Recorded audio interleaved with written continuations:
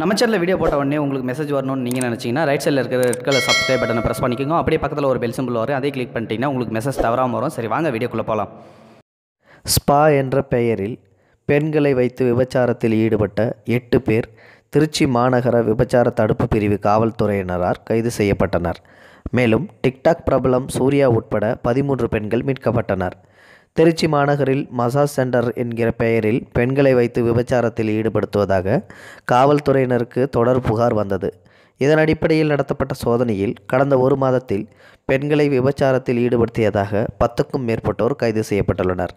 இருபதுக்கும் மேற்பட்ட பெண்கள் மீட்கப்பட்டு அரசு காப்பகங்களில் தங்க வைக்கப்பட்டுள்ளனர்.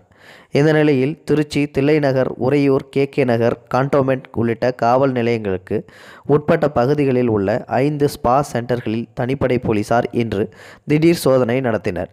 இதில் திருச்சி டிவிஎஸ் டோல்கேட் அருகே உள்ள நட்சத்திர விடுதியின் மாடியில் அமைந்துள்ள சன்ஸ்பா என்ற மசாஜ் சென்டரில் சோதனை செய்தபோது அங்கு பெண்களை வைத்து விபச்சாரம் செய்தது உறுதியானது. மேலும் அந்த ஸ்பா சென்டரில் டிக்டாக் பிரபலம் திருப்பூரைச் சேர்ந்த ரவுடி பேபி சூர்யா உட்பட பல பெண்கள் இருந்ததை கண்டு காவல்துறையினர் அதிர்ச்சி அடைந்தனர். ஸ்பா என்ற பெயரில் பெண்களை வைத்து விபச்சாரம் செய்ததாக பிரபல டிக்டாக் சூர்யாவை திருச்சி மாநகர விபச்சார தடுப்பு பிரிவு போலீசார் கைது செய்துள்ளனர். டிவிஎஸ் டோல்கேட் பகுதியில் உள்ள மசாஜ் மையத்தில் உள்ள பதினைந்து பேரிடம் போலீசார் விசாரணை நடத்தி வருகின்றனர். மேலும் இதுபோன்று விபச்சாரம் நடக்கிறதா என திருச்சியில் உள்ள ஐந்து மசாஜ் சென்டர்களில் போலீசார் சோதனையில் ஈடுபட்டனர். அதன்பின் மசாஜ் உரிமையாளர்கள் உட்பட எட்டு பேரை கைது செய்தனர்.